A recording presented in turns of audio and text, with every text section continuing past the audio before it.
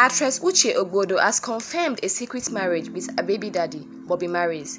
The movie star was contacted after she left a comment on an Instagram post that suggested she had married the father of her second child.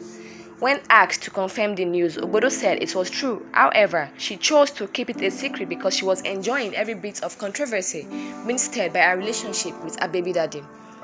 She said, Well, yes, we are. Shortly before my baby was born, I just loved the old groove and stir my relationship caused online, so I decided to keep it to myself.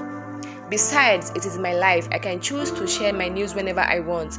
The mother of two also revealed that she would add her hubby's name to her son. Yes, I will surely add my husband's name to mine soon, she said.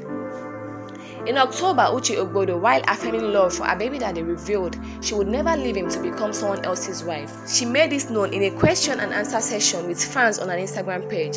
When asked by a fan if she will accept a marriage proposal from someone else and abandon her baby daddy, the fan wrote, If someone asks you to marry him now, will you accept and leave your baby father? Ogbodo emphatically responded in the negative. She said, Never. She also went to the comment section to buttress her response. She wrote, Period.